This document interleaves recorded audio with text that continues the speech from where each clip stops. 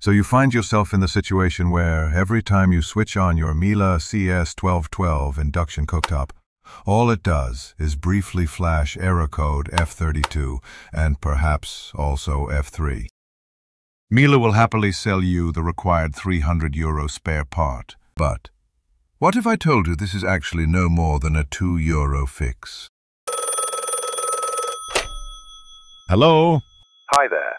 Before we get to the interesting part, I would like to point out that if you're unfamiliar with opening up domestic appliances, it might be a good idea to find someone who is. okay, so in fact both error codes lead towards the internal cooling fan not starting. Why is that?